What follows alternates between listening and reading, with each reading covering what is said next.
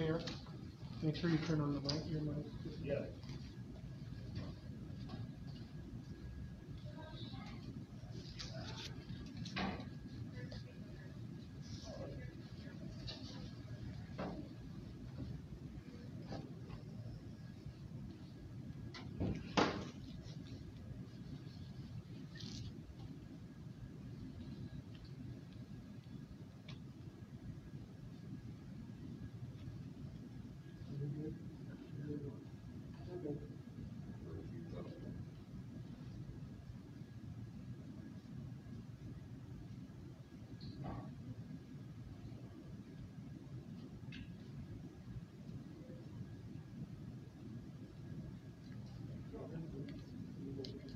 Dave? Yeah, yeah. Move it to his right or his left?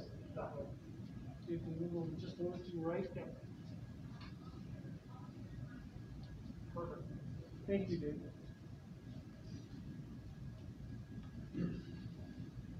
Everybody ready? Well, welcome everyone, thanks for being here. It's been about eighty days since my last COVID-related press conference, July twenty-second. Since that time, we've had a statewide increase of twenty-one thousand two hundred sixty-two uh, new cases of COVID. In Pennington County, during the same time period, we've gone from seven hundred fifty-six cases to three thousand two hundred seven. Active cases in Pennington County have gone from one hundred fifty-two to six hundred seventy-three. Pennington County in the past eight months has experienced forty-one of the state's two hundred eighty-eight deaths. As of today, in South Dakota, one out of every thirty South Dakotans has been tested positive for coronavirus. And today, one out of every one hundred forty-six South Dakotans is an active case. So, uh, that's some pretty radical change in the last eighty days. I can't say, though, that it wasn't expected. Uh, but I can say with confidence, it does still not measure up even slightly with the original undereducated uh, predictions that we had very early on in the pandemic. We had some pretty grim outlooks for the rates of infection and death, and uh, we're still not even scratching the surface of those early predictions. You can see here by the chart to my right, the total positive cases as it has gone up since March. March on the left of the chart and October, uh, today, October 13th on the right. So seen a substantial increase. This was probably like the spike we were all expecting sometime back in March or April or May and didn't receive.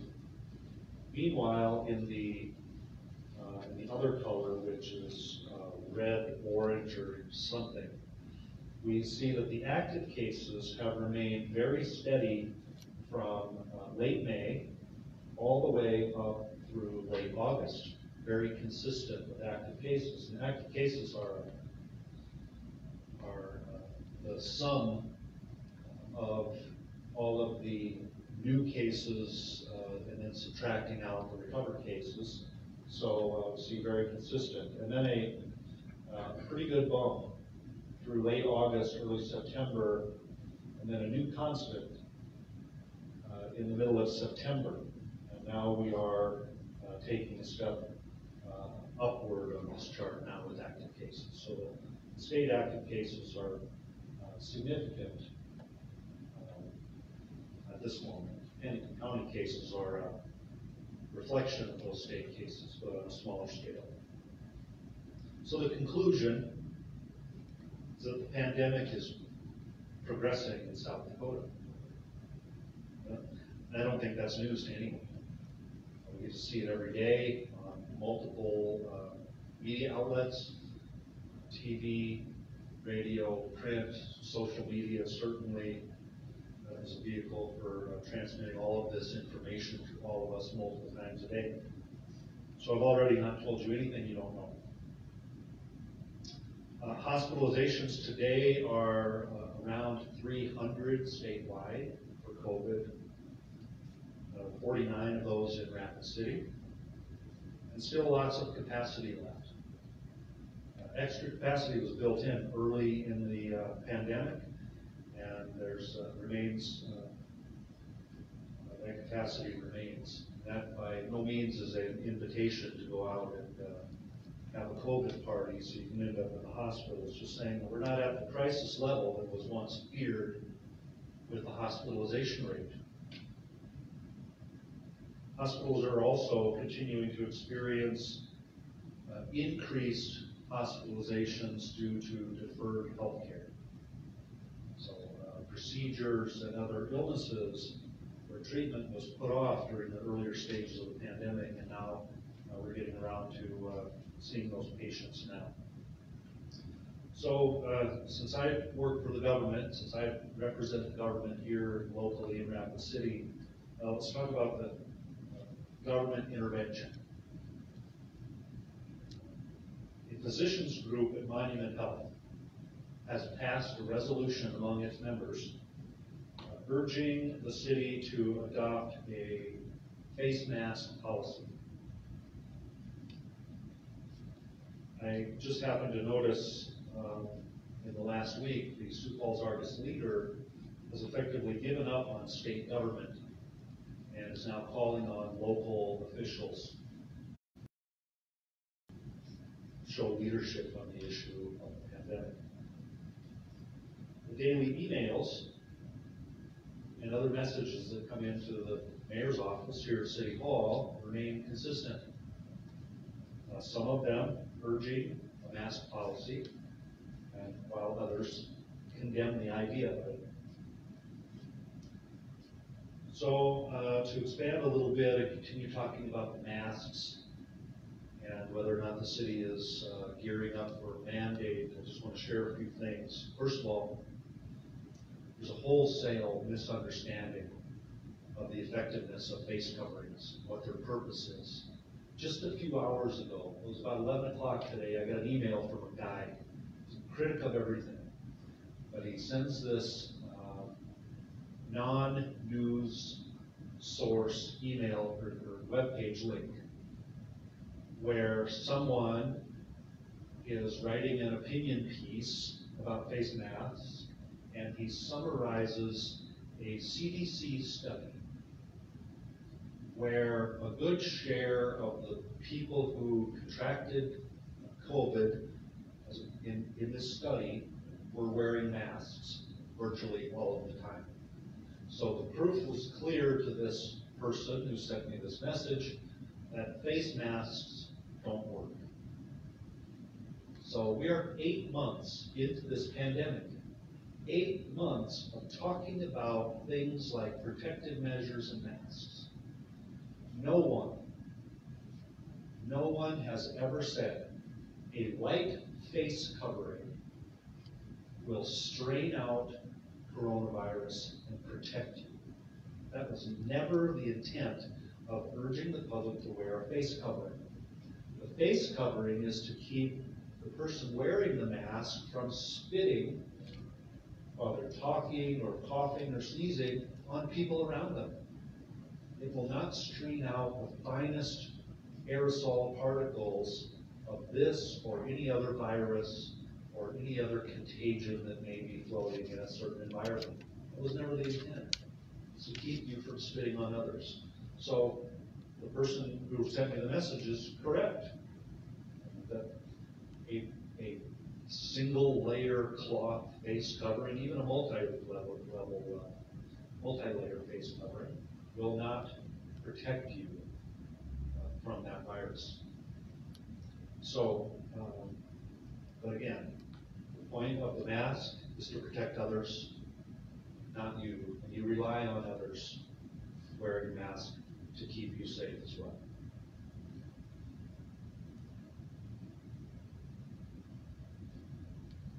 Some, some, eight months later, we continue to get feedback that some people still believe that mask wearing is some sinister government control tactic. And that it is here just to give government an opportunity to control its people.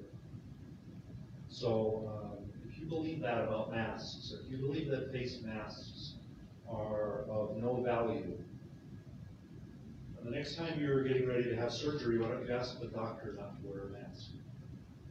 Because he doesn't wear that mask to protect himself or herself. They wear the mask to protect you.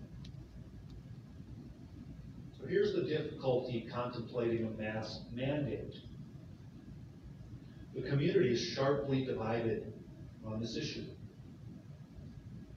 The city council is divided on the issue because they're a cross-section of the community. Uh, If, if South Dakota cities or local, other local governments are to enact mask mandates, uh, essentially, they derive that authority from a very vague, hundred-year-old statute that gives uh, municipalities the ability to protect against the spread of disease. It's a very, very vague statute. It would never pass muster in modern-day lawmaking, being that vague, but it exists. So you could say on one hand, that ability exists. And as I said before, cities like Rapid City only get their authority by what has expressly been written in state law uh, in, by the past sessions of this, of the uh, state legislature, giving us that express authority. So the flip side of that is this. You all know what the state's position on uh, the pandemic has been and pandemic mitigation. So this January, the South Dakota State Legislature will uh, convene in Pierre. And uh, it is very possible that they will strike that hundred-year-old statute from state law to revoke uh, municipalities' authority to govern such things as wearing masks or preventing the spread of disease. The same state legislature that many of them, perhaps all of them at one time, had a campaign flyer that said they were for local control. That same legislature will not think twice, not, not waste a minute in stripping that existing authority away from cities. So let's say we were to pass a state or a citywide uh, mask mandate. We can't enforce it. We don't have the police resources to enforce it. We don't have enough code enforcement. I doubt we could hire enough people. We could decommission uh, existing city employees, could divert their duties over to enforcement. And now you've got the government out there in the streets stopping people walking around, uh, conducting their business to make sure they have a face covering over their face. I don't think Rapid City uh, can survive that. I'm saying that that's always gonna be, uh, something we don't, uh, consider. The circumstances here are certainly different than they were eighty days ago when I last talked to you. So who knows what the next eighty days will bring, or the next eight hundred days? No, it's proven already that nobody can predict the future, uh, concerning this pandemic. Uh, so here more locally, we have a, we have a mask mandate in Brookings, South Dakota. A few weeks ago, they enacted a mask mandate. Uh, the feedback from the city has been relatively positive. They get hate mail still, but, uh, besides a a painful city council meeting, things seem to have gone okay, except that witnesses report to me that mask compliance in Brookings has been unchanged. Already I saw someone who linked a chart that was not referenced, showing that as the, the- virtually the minute Brookings enacted the mask mandate, that their cases plummeted. Uh, We're gonna see that. I imagine we'll also see the reverse of that, where, uh, nothing happened, or the cases got worse. This is the time, and this is the circumstance where people will, uh, seek to manipulate data, to get their own, uh, result. So, um, anyway, we need to talk about the alternatives to, to a mask mandate. So, currently, today, I am speaking with, uh, a marketing firm to help launch a new marketing campaign, a professional marketing campaign around the importance of wearing face coverings. All of us, every one of us, including individuals and groups and organizations, should have a renewed commitment to safe practices. We should be limiting group size, and we should be controlling the setting that, uh, where those groups, uh, are meeting. Frankly, everyone should wear a mask when it's not possible to maintain social distancing. And if you're one of those who are living life normally because you're exhausted from the pandemic or you don't believe in its uh, consequences, if you're living life normally, my advice to you is to just uh, stay away from those who are trying to observe safe practices. You can still infect people who are wearing masks.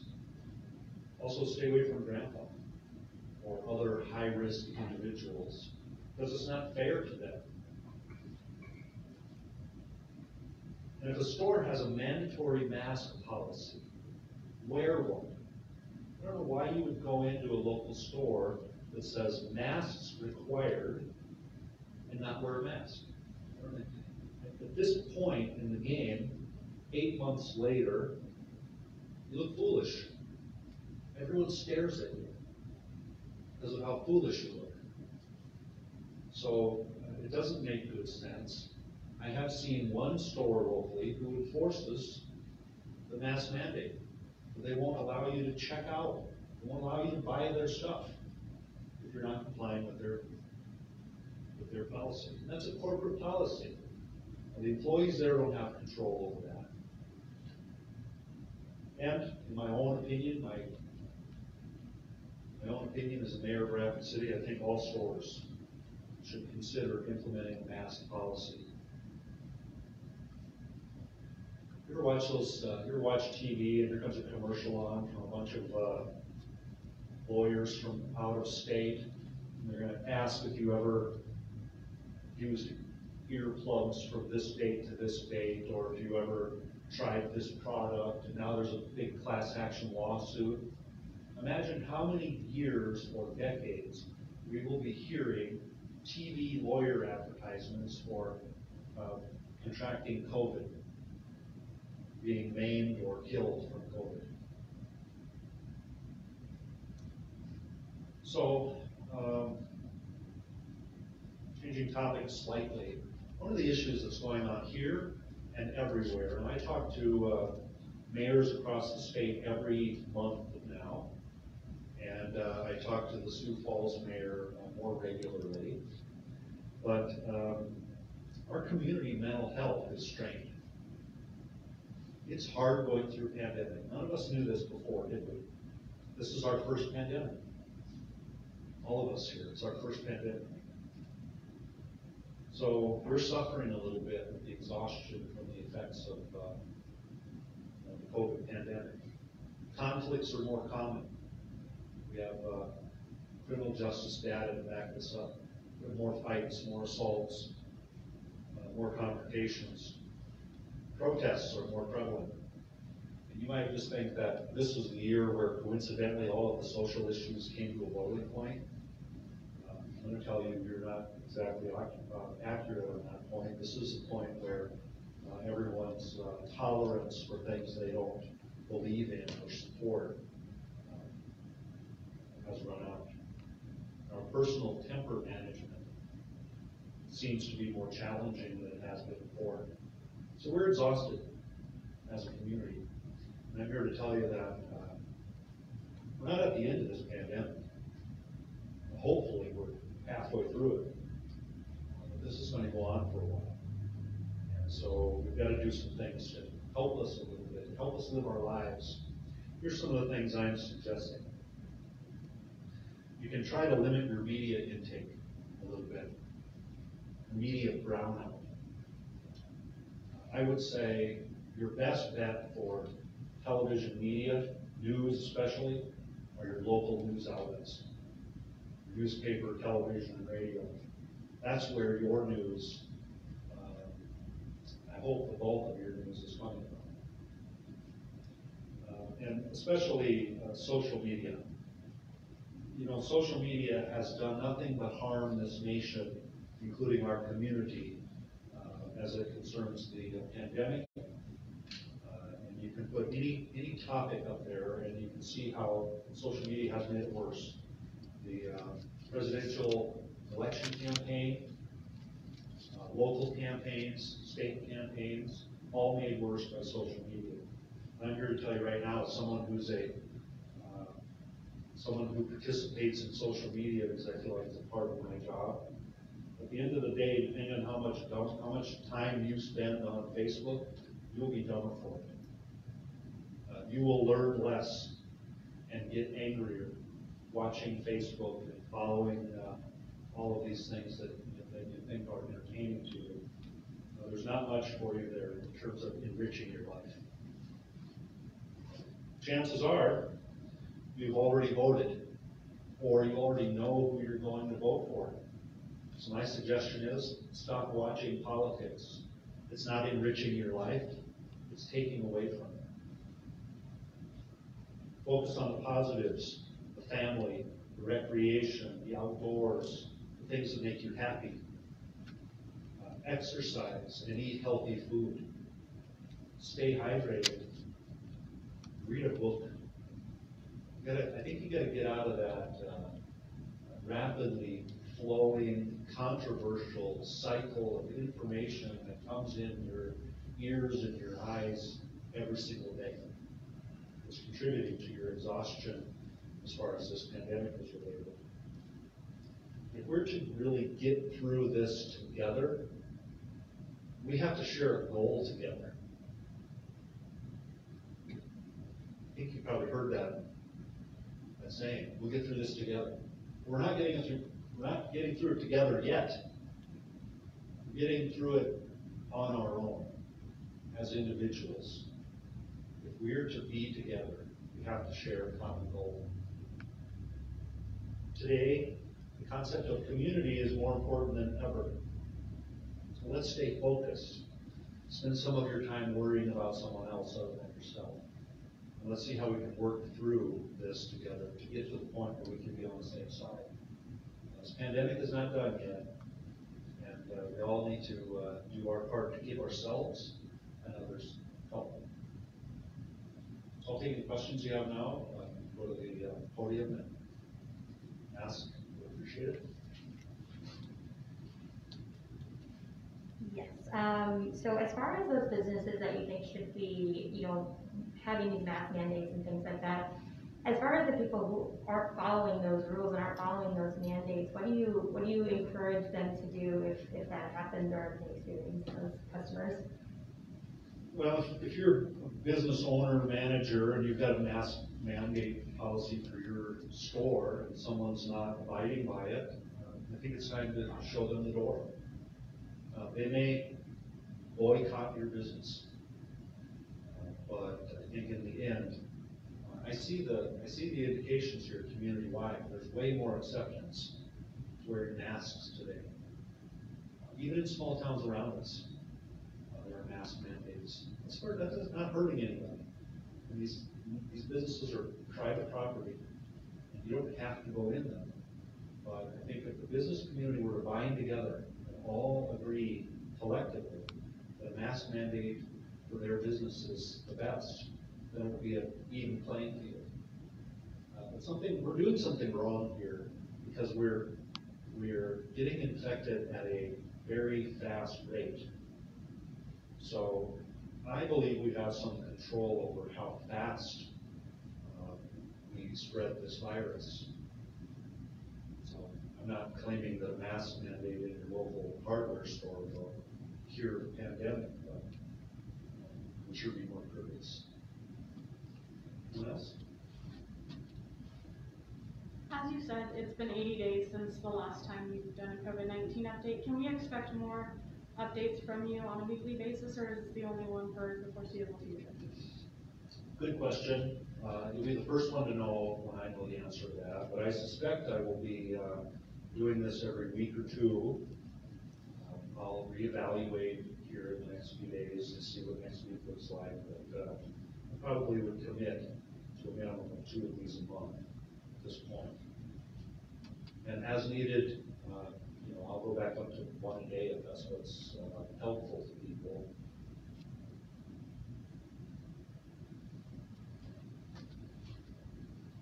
Um, as you said, you're suggesting to businesses to, um, kind of encourage and enforce, uh, their customers to wear a mask. Can we see, will we see that on the city council as well? Some of the city council members do wear masks, uh, some of them during the meeting here, but you know, we have city council members spaced appropriately. Uh, one city council member has recently asked to have plexiglass dividers up here. And um, so I think that's a reasonable and cheap request, if that's what the council prefers. And um, so I think our, I think our mask wearing council members are probably uh, 80 eight out of nine of them, or seven out of nine of them, consist of mask-wearing individuals. So I imagine we'll see more of that everywhere as time goes on. Uh, question: um, Have you spoke with any um, businesses in the community to see uh, to get their feedback on if they will uh, be implementing mask mandates? No. Okay. No, this is just my encouragement for them to consider mask mandate. I know I shop in some of the stores that have mask mandates, and some of them that don't. I wear a mask in anyway, depending on how full the parking lot is and how my comfort level. But, um, every time I'm there, uh, I see someone not wearing one. Walk right past a sign that said mask required, and they're in there enjoying their freedom while everyone else is staring at them. Thank you. Any other questions from anyone in the room? Thanks, everyone, for being here. Uh, We'll let you know when the next one is.